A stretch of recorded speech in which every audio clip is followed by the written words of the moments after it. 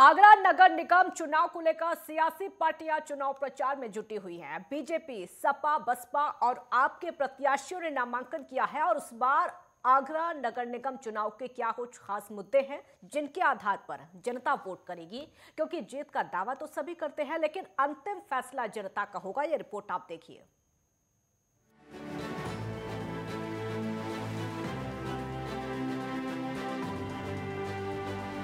उत्तर प्रदेश में निकाय चुनाव जैसे जैसे नज़दीक आ रहा है, वैसे वैसे सियासी पारा भी अपने चरम पर पहुँचता जा रहा है।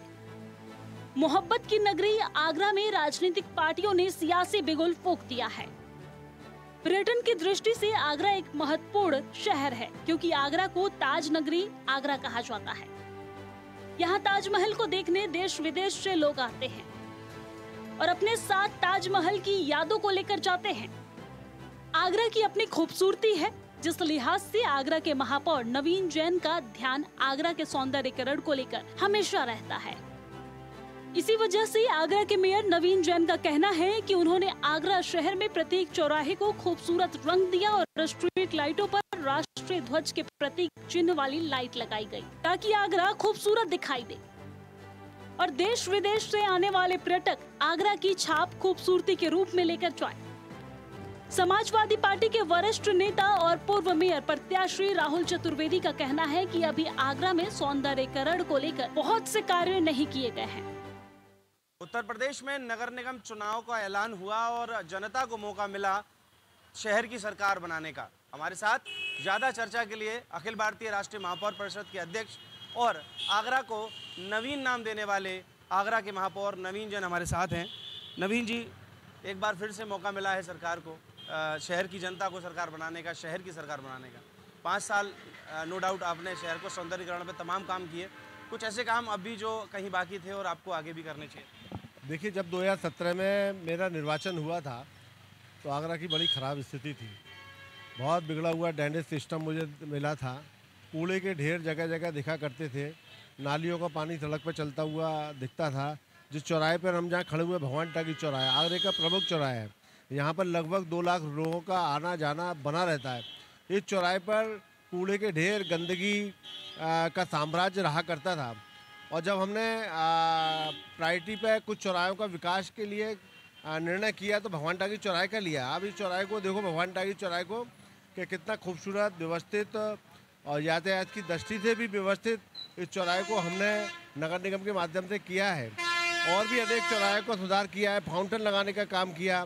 आगरा के जो पार्क थे, नहीं, उजड़े हुए पार्क थे, उनको डेवलपमेंट करने का काम किया। ऐसे जब डलाव घर बना हुआ था, कूड़ा घर, उन कूड़ा घर की ज़मीन को हमने पार्क वहाँ विकसित किए।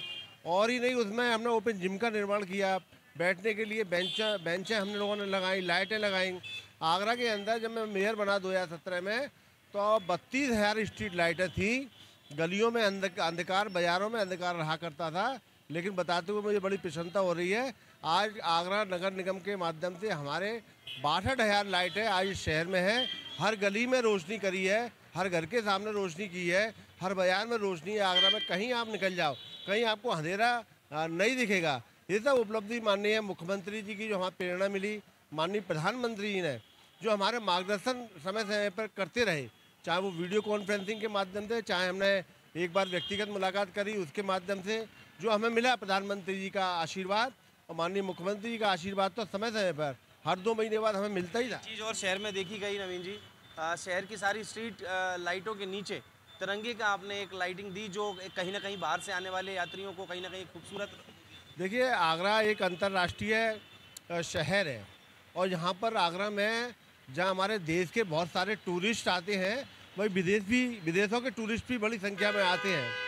तो जब विदेश के टूरिस्ट बड़ी संख्या में जब आगरा में ताजमहल देखने आते हैं तो आन वान शान का हमारा जो तिरंगा प्रतीक है तो हमने कहा कि इनके तिरंगे का प्रचार प्रसार किया जाए। तो हमने टी गार्ड के माध्यम से तिरंगे का प्रचार किया, जहाँ पोल है, उन पोलों पर तिरंगी लाइट, स्ट्रिप लाइट लगवाई, और उसका एक असर पड़ा कि बच्चे जो हैं हमारे शहर के तो उन्होंने अपने पेरेंट्स से पूछा करते थे तिरंगी लाइट क्यों लगी है? इसका क्या महत्व है? तो पेरेंट बताया करते थे इस तिरंगी लाइट का महत्व को क्या है? और हमारे जो विदेशी अतिथि आ रहे हैं वह भी आ, हमारे देश की राष्ट्रभक्ति की भावनाओं से प्रभावित होकर जाते तो जी ट्वेंटी का कहीं ना कहीं नेतृत्व तो आगरा शहर को करने का मौका। जी हाँ जो जी ट्वेंटी के माध्यम से भी हमने बहुत सारा विकास किया। हालाँकि उससे पूर्व हमने विकास के जो आयाम थे वो हमने बहुत सफलतापूर्वक पूरे किए। पहले आगरा चलता था कि आगरा माने बेलगंज कचहरीघाट रावतपाड़ा फुलट्टी बाज़ार फुब्बारा ये आगरे का क्षेत्र है। फिर एक नया आगरा का विकास हुआ, एक नहीं बल्केश्वर हुआ कमला नगर हुआ विभम नगर हुआ गांधी नगर हुआ, ये कॉलोनी वाला आगरा। एक नया आगरा और बना है अब। वो आगरे का नाम है मॉडर्न आगरा। और मॉडर्न आगरा कहाँ बना है? फतेहबाद रोड पे। आप निकल जाइए। आज तीन साल पहले, ढाई साल पहले के आप फतेहबाद रोड के आप पुरानी फुटेज को आप निकाल के देखिए। आज देखिए, लोग आगरा में तीन साल बाद जो आ रहे हैं आगरा शहर में देखने, वो आगरा को बदला हुआ शहर देख रहे हैं। तो कह रहे हैं कि आगरा में कुछ तो हुआ है, आगरा में बदलाव तो हुआ है। और अगर मैंने वो नारा दिया कि अगर मैं वहाँ पर बना तो मैं क्लीन आगरा बनाऊँगा, ग्रीन आगरा बनाऊँगा और नवीन आगरा बनाऊँगा। नवीन आगरा, नवीन जैन से मतलब नहीं है, नवीन आगरा एक नए आगरे से मतलब है। और मुझे खुशी है कि मैं नवीन आगरा बनाने में कई हद तक सफल भी हुआ। निश्चित ही हम पीछे भी देखेंगे आप साफ़ तौर पर देख सकते हैं कि क्षेत्र का क्षेत्र को स्वच्छ रखने की ज़िम्मेदारी हमारी है। कहीं पीछे अगर आप देखते हैं तो हमारा, हमारी साझा संस्कृति कई तरह के आयामों को आपने छुआ और निश्चित तौर पर पाँच साल में सौंदर्यकरण को लेकर आपने जो काम किया, वो निश्चित तौर पर दिख रहा है। लेकिन अगर हम अब बात करें कि क्या ऐसे कुछ काम जो अभी आपके मन में थे और आगामी मेयर जो बनेगा, उसके लिए आपका कुछ सुझाव कि आप किस तरह से आगे वाले आदमी देखिए, आगरा में अभी सीमा विस्तार हुआ है तो लगभग दो लाख वोट आगरा में बढ़े हैं। वो सीमा विस्तार उन क्षेत्रों का हुआ है जो अविकसित क्षेत्र है, जो गाँव है, देहात का एरिया है, वहाँ विकास की बहुत आवश्यकता है।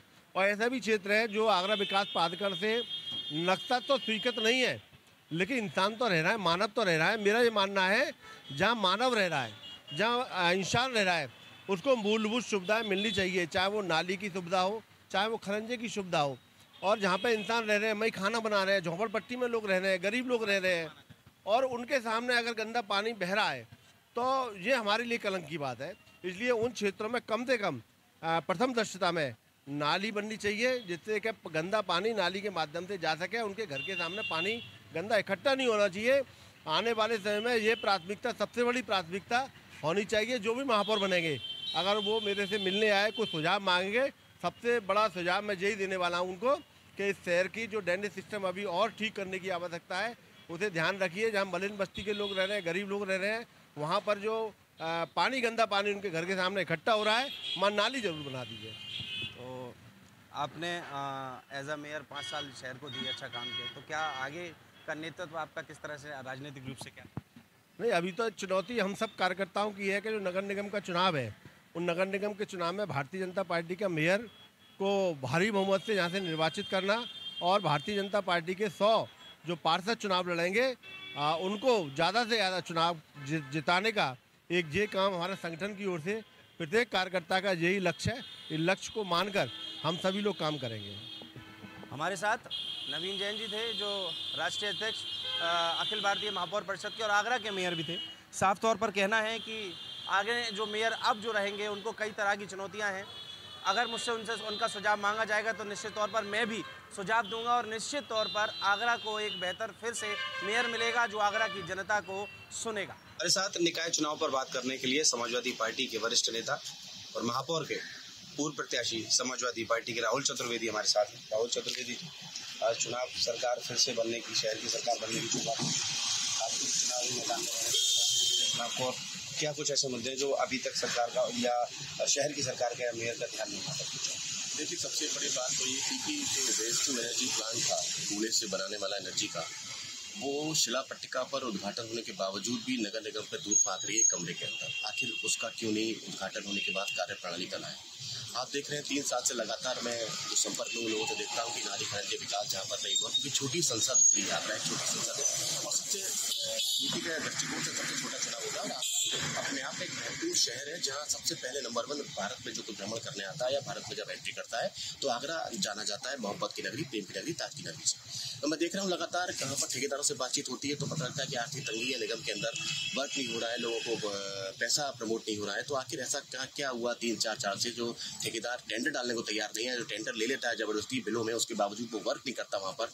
और मैं देखता हूँ कि सबसे बड़ा काम जो कैंट पे उतरने का, जब पर्यटक उतरते हैं तो आगरा कैंट का क्या विकास हुआ? एक अच्छा मॉडल के रूप में आगरा जाना चाहिए था लाइट्स के ऊपर भी हैं, जो वर्क होना चाहिए था, वो वर्क नहीं हुआ। जो मेरे वादे थे जनता ने मुझे अस्वीकार किया। हो सकता है मैं किसी कारणवश जनता के रूप नहीं खड़ा उतरा हूँ लेकिन मैं कहना चाहूँगा कि जो अगर ये वर्तमान मेयर वहाँ पर थे, आगरा में थे तो कुछ कर सकते थे आगरा के लिए चूँकि आगरा के लोग रहने वाले हैं, हमें ज़िंदगी यहीं पे काटनी है, हमारे बच्चे यहीं पे रहेंगे, और हमें इतना अच्छा ईश्वर ने जब मौका मिलता है तो उसको कुछ कर दिखाने का क्रिएटिव माइंड आदमी को होना चाहिए। हाँ क्या लगता है कि आगे किस तरह का सुझाव आपके लिए भी जो आप फेयर में मेयर चुनेगा जनता से चुनेगी उसके लिए क्या सुझाव है?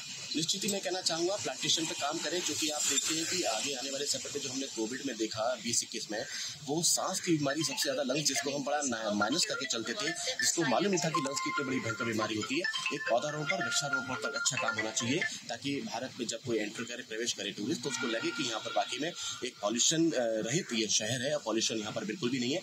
मैं कहना चाहता हूँ कि व्हाइट कलर शर्ट पहनकर, एक व्हाइट कलर टी शर्ट पहनकर आप शायद से भगवान टोके जब प्रतापुरा से निगम तक जाइए, जब लौट के आएँगे तो पूरी काली हो चुकी होगी।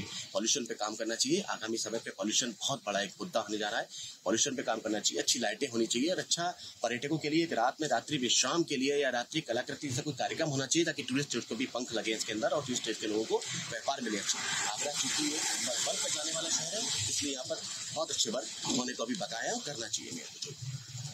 हमारे साथ समाजवादी पार्टी के वरिष्ठ नेता और पूर्व मेयर प्रत्याशी राहुल चतुर्वेदी थे। इनका साफ़ तौर पर कहना है कि शहर को कहीं ना कहीं आने वाले महापौर को जो भी महापौर बनाए, उसको कहीं ना कहीं ध्यान देना चाहिए प्लांटेशन पर, पर्यावरण पर, और इसका सीधा असर कहीं ना कहीं जनता पर होता है और जनता जब ठीक रहेगी तो शहर ठीक रहेगी। नगर निगम का चुनाव नज़दीक है।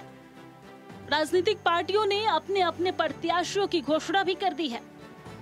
बीजेपी ने इस बार हेमलता दिवाकर को प्रत्याशी बनाया है। बसपा से लता वाल्मीकि, सपा से जूही प्रकाश जाटव और आम आदमी पार्टी ने सुनीता दिवाकर को नगर निगम के जंगी मैदान में उतारा है। हालाँकि इस पर आगरा नगर पालिका की सियासी जंग आसान नहीं है, क्योंकि मौजूदा विकास की रफ्तार को देखकर ही जनता अपना मत देगी। अब देखने वाली बात होगी कि किसके शहर में सरकार बनती है। बीजेपी, सपा, वसपा, आप या फिर Congress? Bureau report, network ten. Uttar Pradesh में नगर निगम चुनाव की चुनावी प्रक्रिया तेज हो गई है और बयान आना भी अब शुरू हो चुके हैं। वर्तमान मेयर नवीन जैन का साफ़ तौर पर कहना है कि आगरा में बेहद सुंदर सौंदर्यीकरण का काम हुआ है। आगरा को नवीन आगरा बनाया गया है। आगरा को एक नई दिशा का आयाम बनाया गया है। वहीं साफ़ तौर पर समाजवादी पार्टी के वरिष्ठ नेताओं का कहना है कि आगरा को अभी सौंदर्य के रूप में और काम करना होगा, पर्यावरण को लेकर और काम करना होगा और कहीं ना कहीं पौधारोपण को लेकर भी आगरा शहर को और खूबसूरत बनाने की ज़रूरत है। क्योंकि आगरा ताज नगरी आगरा है और साफ़ तौर पर जब यहाँ पर टूरिस्ट आता है तो आगरा की खूबसूरती को देखता है और आगरा के लिए जिस तरह से ताजमहल के लिए वह ताज निकलता है, आगरा के निवासी भी चाहते हैं कि आगरा को देखकर भी टूरिस्ट का वह आगरा भी निकले। हम आई लव आगरा के साथ, आगरा का आगरा में टूरिस्ट का स्वागत कर रहे हैं। साफ़ तौर पर, अब देखने वाली बात यह है कि अब आगरा की जनता किसे अपना महापौर चुनती है, किसे अपना मेयर चुनती है। आगरा से राहुल शर्मा, नेटवर्क